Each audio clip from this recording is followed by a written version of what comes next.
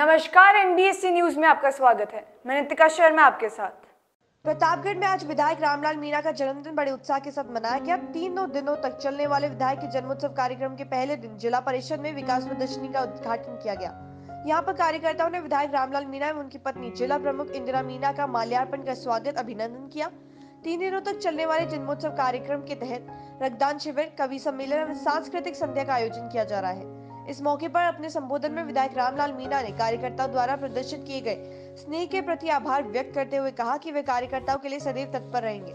इस मौके पर कांग्रेस कार्यकर्ताओं, पदाधिकारियों ने मीना के मंगलमय भविष्य की कामना करते हुए उनका अभिनंदन किया। इस दौरान कार्यकर्ताओं द्वारा ढोल नगाड़ों के साथ आतिशबाजी भी की